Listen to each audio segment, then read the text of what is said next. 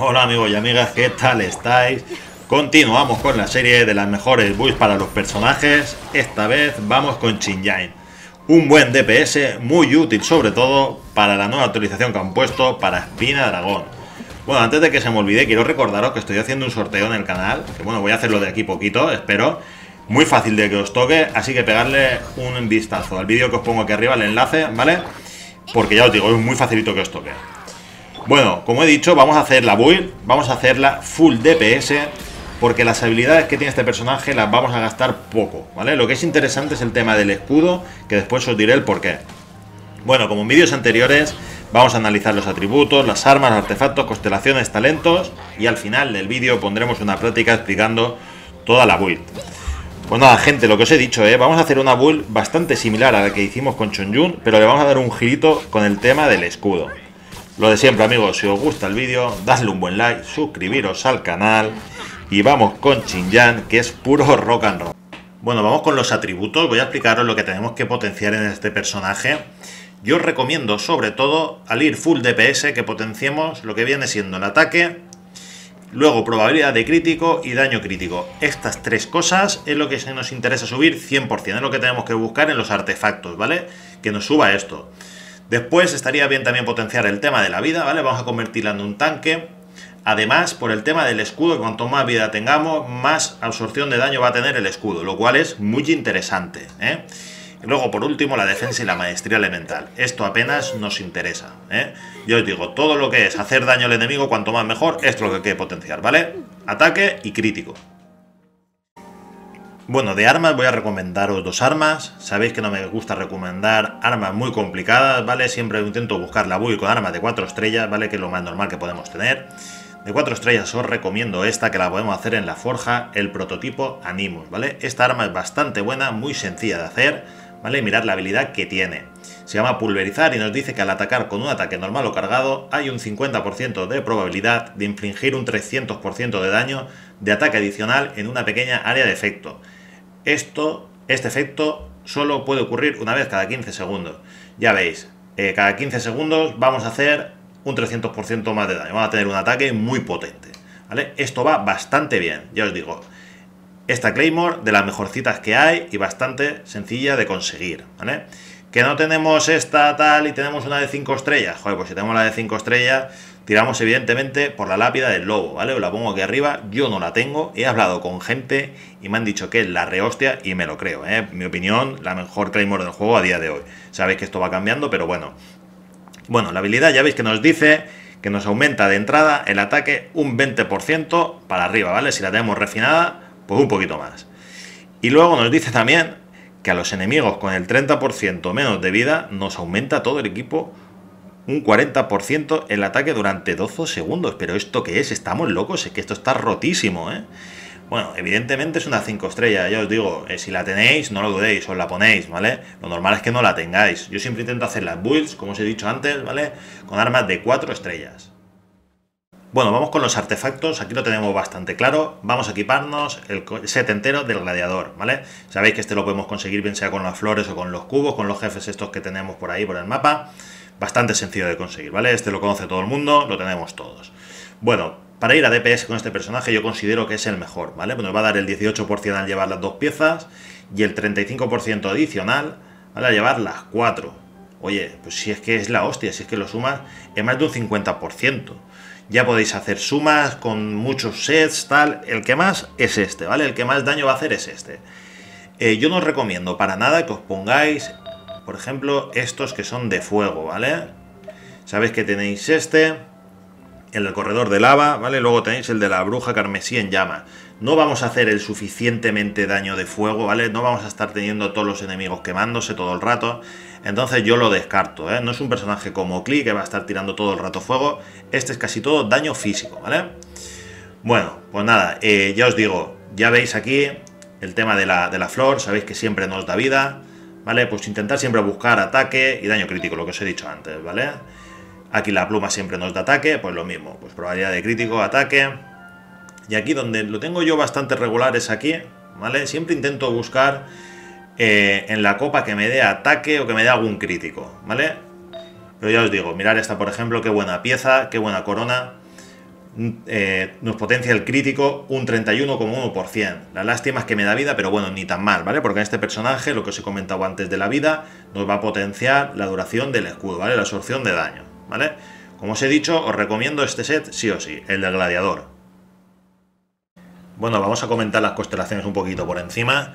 Como veis, la de nivel 1 nos dice que tras realizar un golpe crítico nos aumenta en un 12% la velocidad de ataque de los ataques normales y cargados durante 5 segundos. Eh, solamente puede ocurrir una vez cada 5 segundos. Esto está bastante bien porque, oye, un 12% más de velocidad se tiene que notar muchísimo. Luego la de nivel 2 nos dice que la probabilidad de crítico del daño físico de la ulti nos aumenta en un 100% y al lanzar la habilidad se creará un escudo nivel 3 fiesta. Esa está súper bien, ¿eh? Porque ya veis un 100% más de daño crítico después de tirar la habilidad. Oye, pues ni tan mal, ¿eh? Luego de nivel 3 nos dice que como en otros personajes podemos subir a más 3 la habilidad. Luego la nivel 4 nos dice que el daño de desenfreno reduce en un 12%, en un 15% la resistencia física de los enemigos durante 12 segundos, ¿vale? Esto es lo de hacer el escudo cuando le pegamos, ¿vale? Cuando hacemos el movimiento este de la espada, que le pega y creamos el escudo, y le vamos a reducir un 15% la resistencia física a los enemigos. Muy buena. Luego a nivel 5, pues como en otros personajes, nos dice que podemos aumentar a más 3 la habilidad Melodía de Rebelión. Y la de nivel 6 nos dice que el coste de aguante del ataque cargado de Xinjiang se reduce en un 30%. Además, al realizar un ataque cargado gana un 50% de la defensa como bono de ataque. Esta está bastante bien, pero yo personalmente eh, los ataques cargados no los gasto casi nunca, ¿vale? Sabéis que empezamos a rodar y tal y hace un poco de menos eh, de daño de lo normal de un ataque. Entonces, pues bueno, sinceramente para ser de nivel 6 la constelación la veo un poquito floja. Bueno, vamos con los talentos. Eh, ya sabéis que este personaje eh, gasta una Claymore, tiene el típico ataque, ¿vale? De los cuatro espadazos, ¿vale?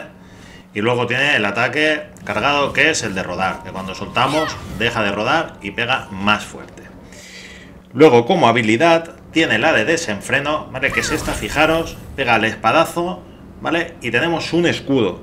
Ojito con esto que es muy importante, ¿vale? Si le damos cuando hacemos el espadazo a un enemigo, ¿vale? Nos va a hacer el escudo normal, si le pegamos a 2 nos lo va a hacer más fuerte, y lo importante es si le damos a 3, ¿vale?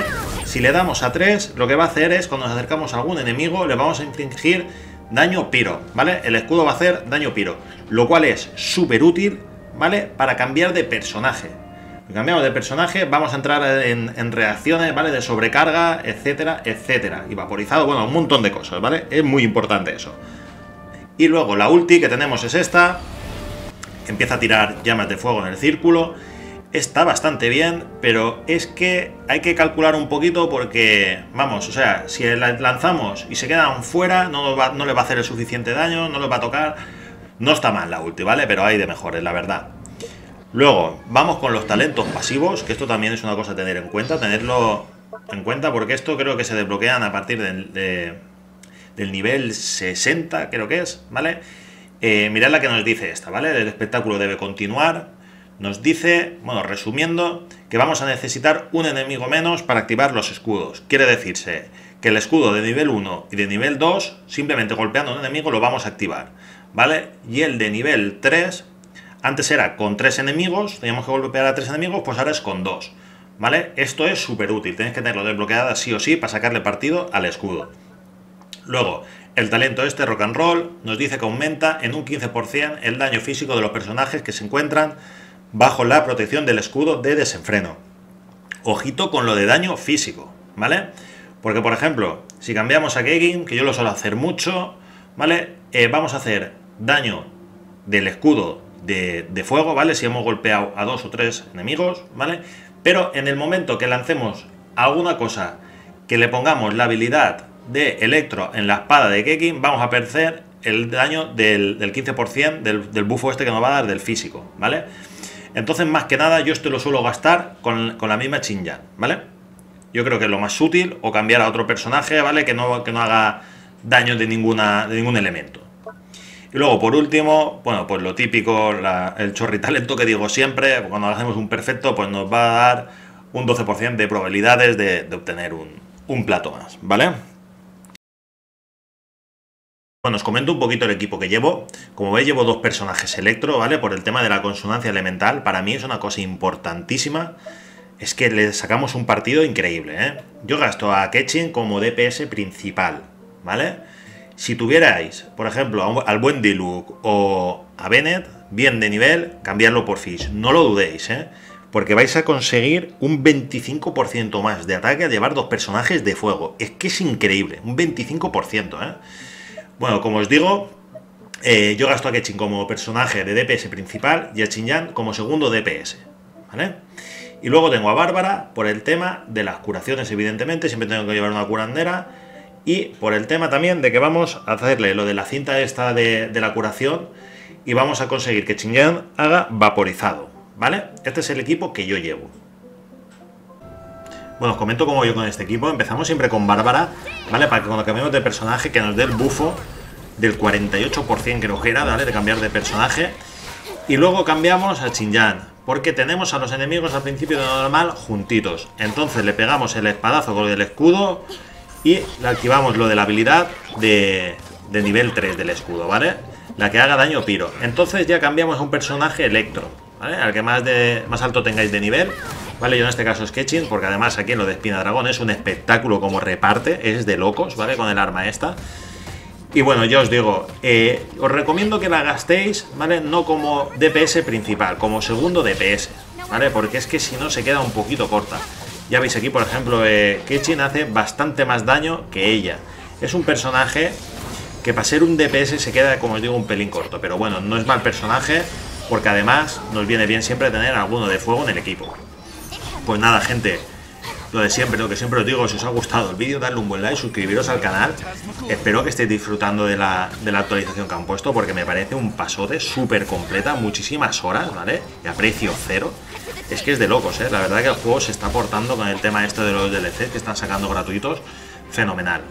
Espero que os haya gustado el vídeo y nos vemos en el próximo. Hasta luego, adiós.